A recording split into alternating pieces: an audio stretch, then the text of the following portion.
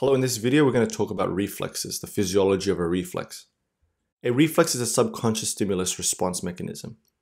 Clinically, many reflexes are tested to identify any abnormalities in the reflex pathway, which may indicate problems within the central nervous system or the peripheral nervous system.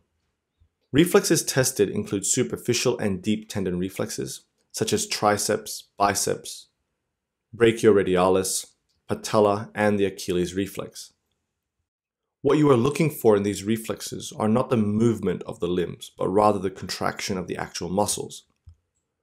A reflex involves sensory nerve fibers delivering information to the central nervous system, and motor fibers carrying commands to the effectors via the peripheral nervous system. The reflex arc is the neural wiring of a single reflex and involves five steps. The spinal cord here corresponds with the central nervous system, the reflex arc includes a receptor reacting to a stimulus, such as this nail. The afferent neuron, the sensory neuron, transmits the impulse through the peripheral nerve to the central nervous system. The central nervous system is where information processing occurs. The afferent neuron, the sensory neuron, synapses with an efferent neuron or an interneuron, which will then relay information to the efferent neuron. The efferent neuron is the motor neuron, which exits the spinal cord and delivers the signal to an effector, which is the muscle or the gland. In this case, it is the muscle of the flexors of the hand, causing the hand to make a fist to withdraw from the stimulus. Reflexes are classified according to development, response, complexity, and processing side. Development include whether the reflex is innate or it's acquired. The reflex response is the nature of the resulting motor response, whether it's somatic or visceral. Complexity means the complexity of the neural circuit involved, whether it's a monosynaptic reflex or a polysynaptic reflex. And finally, the processing side, where the information is being processed, whether it's the spinal cord or the brain, both of which make up the central nervous system. In this video, we will talk about monosynaptic reflex and polysynaptic reflexes, and also mainly focus on the spinal cord as a site of information processing. Because really, most of the reflexes we test are spinal reflexes. Spinal reflexes range from simple monosynaptic reflexes to more complex polysynaptic. Let's first talk about monosynaptic reflexes, the stretch reflex. The monosynaptic reflex is the most rapid, simple reflex with a single synapse between the afferent neuron and the efferent neuron. An example of a monosynaptic reflex is a patellar reflex. The patellar reflex is a spinal reflex involving the knee joint. In this neural circuit, the patella tendon is hit with a tendon hammer. The resulting effect is a contraction of the quadriceps and then the knee kicking out. There are sensory neurons innervating muscles and tendons which attach to the patella or the kneecap. When the patella tendon is hit, this will stimulate receptors within the muscle, which will then activate sensory nerve fibers. The receptors in the muscle fibers I'm talking about are called muscle spindles, which are extremely important in the reflex arc. Muscle spindles are receptors within muscle. Here is the tendon of the muscle. And here are the muscle fibers, which are called extrafusal muscle fibers, because these muscle fibers are responsible for muscle tone, muscle contraction, and then relaxation. The red surrounded by the extrafusal muscle fibers are the intrafusal muscle fibers, which are the muscle spindles. Muscle spindles are essentially receptors which respond to stretch and are innervated by sensory neurons, which are your afferent neurons in blue here. The afferent neurons, which have been activated or stimulated, will carry information to the spinal cord. The afferent neurons will synapse with the motor neuron, the efferent neuron. This is a monosynaptic reflex because it only involves one synapse. The efferent neuron will supply the quadricep muscle and will innervate the extrafusal muscle fibers. The efferent neuron will cause the extrafusal muscles of the quadriceps to contract, increasing muscle tone. this is the contraction of the quadriceps. When the quadriceps contract, the knee will kick out. Looking at the patellar reflex arc step by step, the stimulus is a tendon hammer hitting the patellar tendon, which will stimulate the intrafusal muscle fibers, the muscle spindles, the receptors within the muscle. The muscle spindles react to stretching and movement of the surrounding area. This in turn will stimulate the afferent neurons, the sensory neurons, which will carry the information to the spinal cord. The spinal cord is the information processing site, and so this is an example of a spinal reflex. The afferent neuron will synapse with an efferent neuron in the spinal cord. The efferent neuron, which is the motor neuron, is stimulated and will target the extrafusal muscles of the quadriceps. The extrafusal muscles of the quadriceps will contract, completing the patellar reflex or the knee jerk. Now, when we talk about muscle tone, we are essentially talking about the resistance of muscle to stretch.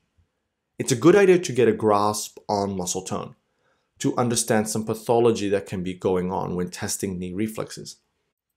Here are two examples of a spinal reflex. The afferent sensory neuron in blue is bringing information to the spinal cord, synapses with an efferent neuron which will leave the spinal cord to supply a muscle, causing it to contract. If this area is severed, the efferent neuron there will be unable to deliver signals to the muscle because the muscle has no motor neuron supplying it. You expect the muscle to be hypotonic, low tone. It will be flaccid because there is a disruption in the motor neuron supplying it. If, for example, the efferent neuron, the motor neuron, is continuously firing signals, or there is no inhibition to that efferent neuron, the effector organ, being the muscle, will also get continuously stimulated and become hypertonic, spastic. The patellar reflex was an easy example of a monosynaptic reflex, a single synapse, the simplest reflex arc. A polysynaptic reflex produces a more complex response, there can be anywhere from two to hundreds of synapses within a polysynaptic reflex arc.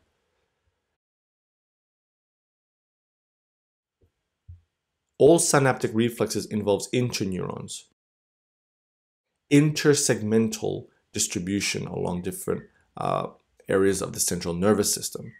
And it also involves reciprocal inhibition. Here is the right leg and the knee joint. The anterior muscles of the thigh are the quadriceps, and the posterior compartment are the hamstrings. The withdrawal reflex is a polysynaptic reflex that is initiated by nociceptive stimuli. It can serve as a protective mechanism to prevent further injury. The first part of the reflex pathway is a stimulation of receptors in the area, in this case due to a painful stimulus to the foot. The receptors will in turn activate the afferent neurons, which are your sensory neurons, which will bring this information to a specific spinal cord level, the processing center in the spinal cord.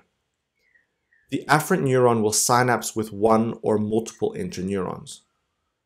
Interneurons here, drawn in black, are important in the reflex pathway as they enable the sensory neurons to communicate to many other neurons in the area. In this case, the interneuron will relay the afferent neuron's information to the efferent neuron. The efferent neuron, which is the motor neuron, will stimulate the hamstring muscles, which are your flexor muscles. The flexor muscles is the effector organ and then will contract. With polysynaptic reflex, as mentioned, there are many interneurons involved, and also the reflex involves different segments of the spinal cord. Here, the afferent neuron communicates with another segment of the spinal cord above and stimulates the interneuron there. Interestingly, the interneurons have another ability. They can be excitatory interneurons or they can be inhibitory interneurons. Excitatory interneurons mean they will stimulate the efferent neuron. Here, there is another efferent neuron supplying the hamstring, and so it is stimulated to propagate the, the response that we want. The inhibitory interneuron will inhibit the efferent neurons. In this case, it will inhibit efferent neurons which are supplying the extensor muscles, preventing the extensor muscles to contract. This is an example of a reciprocal inhibition we talked about earlier in the definition of polysynaptic reflexes. In summary, polysynaptic reflexes involve multiple interneurons, many spinal cord segments, and reciprocal inhibition. The brain can also affect spinal cord based reflexes. The brain can facilitate or inhibit reflex motor patterns based in the spinal cord. Here is a coronal section of the brain, cross section of the brainstem and the spinal cord. Let's take a look at the patellar reflex as an example of how the brain can affect the reflexes. Remember the patellar reflex involves striking the patellar tendon with a tendon hammer. This will stimulate sensory nerve fibers which will carry information to a specific level of the spinal cord, where it will synapse with a motor neuron. The motor neuron will stimulate the quadriceps muscles. The quadriceps muscles, which are your extensor muscles, will contract and cause the knee to jerk up, basically. We learned this reflex to be a monosynaptic reflex, which it is. However, reflexes are also more complicated and usually involve more than one signal, single synapse. In the patellar reflex, it is understandable to say that the afferent neurons can also synapse with inhibitory interneurons, which will inhibit efferent neurons which supply the flexors of the leg, the hamstring muscles here, for example. This will allow for a more exaggerated kick. The brain can facilitate or inhibit reflex motor patterns based in the spinal cord. An example is the brain's power over the knee jerk reflex, because consciously we can inhibit the reflex. We can control whether our leg kicks out or not. This is because voluntary upper motor neurons can travel to that spinal level and stimulate or inhibit the lower motor neuron. We're able to tell our legs to not move, or we can even tell our legs to kick out on command. But this won't be a true reflex because we are actually voluntarily doing it. The plantar reflex or Babinski reflex is another reflex elicited during examination.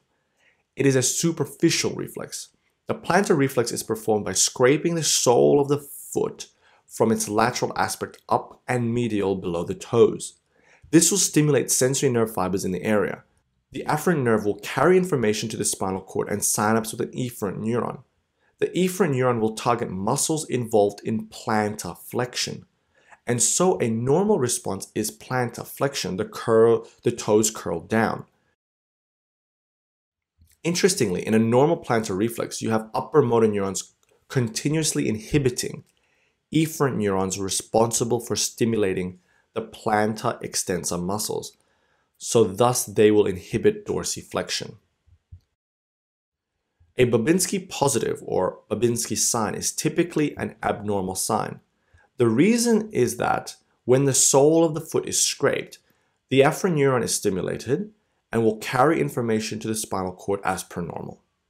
It will synapse with an efferent neuron, which will target the plantar reflex.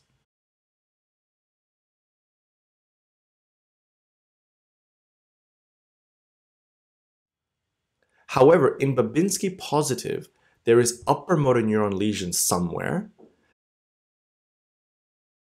and this is known as a pyramidal lesion, as a pyramidal system is part of the voluntary control.